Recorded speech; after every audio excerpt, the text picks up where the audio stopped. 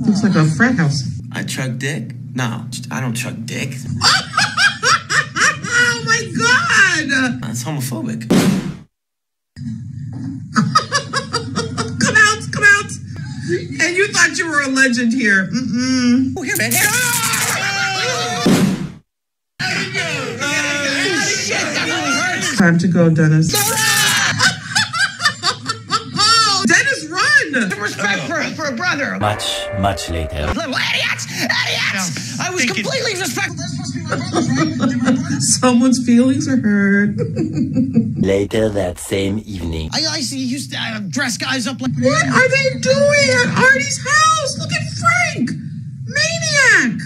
I was a trailblazer. But these kids these days in fraternities, it's like they don't have any, Oh my gosh. you know? And I don't understand. I've created a masterpiece. Oh no.